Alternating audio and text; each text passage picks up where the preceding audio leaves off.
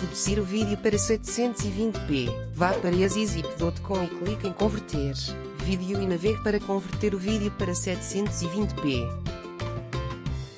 Clique em selecionar arquivo de vídeo para compactar para abrir o seletor de arquivos ou arraste e solte o arquivo de vídeo diretamente no EasyZip.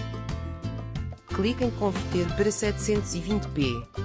Isso iniciará o processo de redução de escala, que levará algum tempo para ser concluído. Clique na visualização para ver a qualidade do vídeo reduzida. Clique em salvar arquivo de vídeo para salvar o arquivo de vídeo reduzido na pasta de destino selecionada.